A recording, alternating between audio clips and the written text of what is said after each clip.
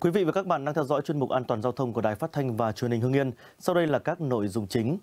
Người tham gia giao thông để bằng lái quá hạn bị phạt 12 triệu đồng. Tiềm ẩn gây tai nạn giao thông từ sử dụng áo mưa sai cách. Công an huyện Khói Châu Ân Thi tăng cường đảm bảo an toàn giao thông dịp cuối năm. Mời quý vị và các bạn cùng theo dõi. Thưa quý vị và các bạn, ngày 28 tháng 12, Chính phủ ban hành Nghị định 123 quy định sửa đổi, bổ sung một số điều trong xử phạt vi phạm hành chính trong lĩnh vực giao thông. Một số vi phạm về giao thông đường bộ tăng nặng mức phạt so với Nghị định 100 hiện nay. Nghị định 123 chính thức có hiệu lực từ ngày 1 tháng 1 năm 2022. Theo đó, Nghị định quy định việc sử dụng giấy phép lái xe ô tô chỉ làm hai mức, trong đó người sử dụng giấy phép lái xe quá hạn dưới 3 tháng sẽ bị phạt từ 5 triệu đến 7 triệu đồng. Người sử dụng giấy phép lái xe quá hạn trên 3 tháng không có hoặc sử dụng giấy phép không do cơ quan có thẩm quyền cấp sẽ bị phạt từ 10 triệu đến 12 triệu đồng.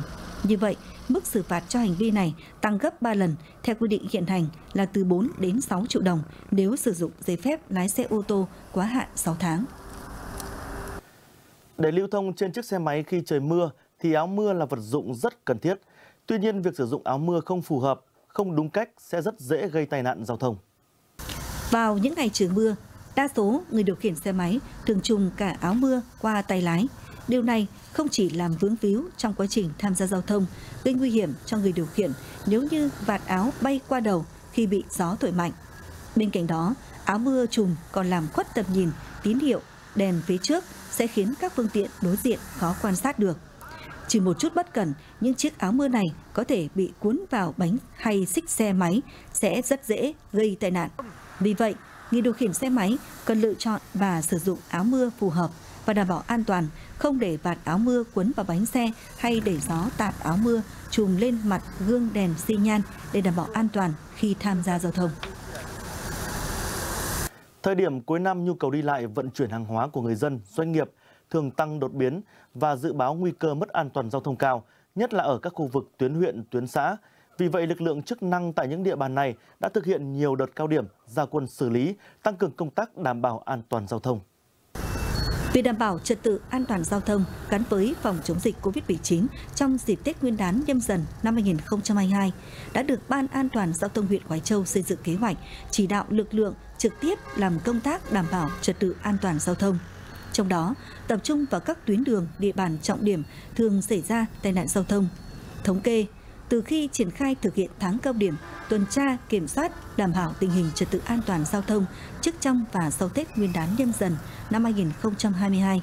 Đến nay, đội cảnh sát giao thông công an huyện Khói Châu đã phát hiện và xử lý 166 trường hợp vi phạm, xử phạt 320 triệu đồng với 25 trường hợp nồng độ cồn, 10 trường hợp xe quá tải và 50 trường hợp vi phạm hành lang an toàn giao thông.